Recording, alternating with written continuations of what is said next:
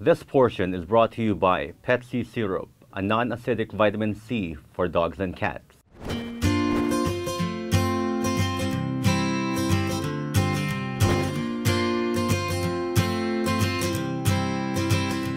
Good morning, everyone. This is Mark Lopez again, and together with me is Coco. And today is our second episode of our five-part episode regarding mga kondisyon na nangyayari sa mga pets natin during summer. For this episode, pag-uusapan po natin yung mange o yung galis. To help us talk about yung mange for this summer episode is si Doc Julie or Doc Jules or Doc Julie taga Ayalac Animal Clinic and Pet Grooming Center. And she's going to help us understand kung ano po yung mga treatment, diagnosis, at lahat ng mga bagay tungkol po sa mange. Okay? Cooks, tara na? O komportable ka dyan? Sige. Uh, mauna na kayo. And kami ni Coco, medyo tatamay pa muna kami. Okay? I'll see you guys there. Ingat.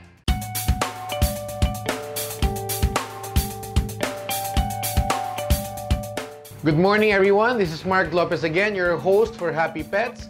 Nakarating na po tayo sa ating second branch dito sa San Jose. Last week, nandun po tayo sa Golden City branch. And this week, today, nandito po tayo sa San Jose branch ng Ayolac Animal Clinic and Grooming Center. Dog Grace, please say hi to our viewers. Hi, good morning. Okay, so Dog Grace, mag-start po tayo sa mange. Ano po, ano po itong tinatawag natin na mange? Um, ang mange, ito yung tinatawag natin na galis sa aso. Ito ay madalas na cause ay ang Demodex or Sar Sarcoptes mites.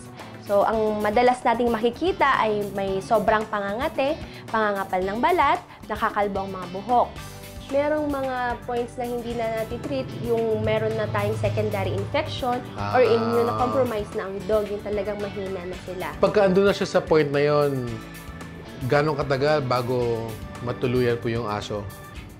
Uh, Magdedepende din po yan kasi sir sa immune response ng dog. So, may mga tumatagal pa naman ng months or years as long as ang immunity ng katawan nila.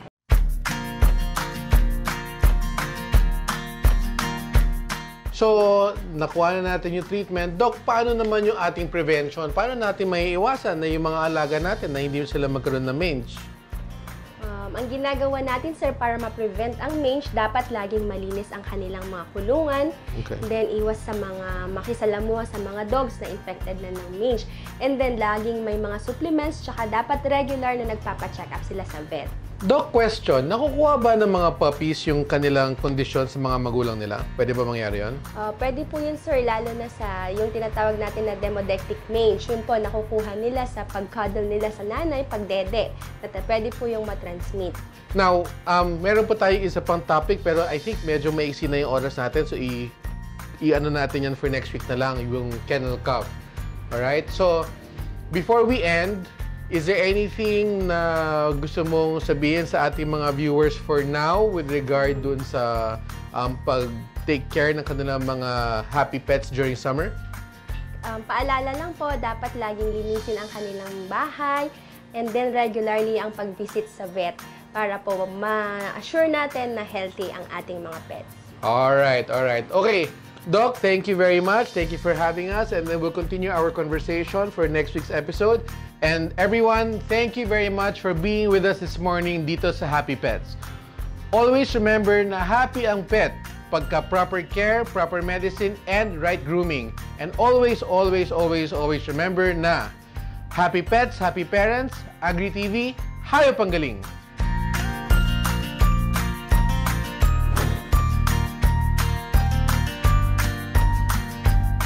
This portion was brought to you by Pepsi Syrup a non-acidic vitamin C for dogs and cats.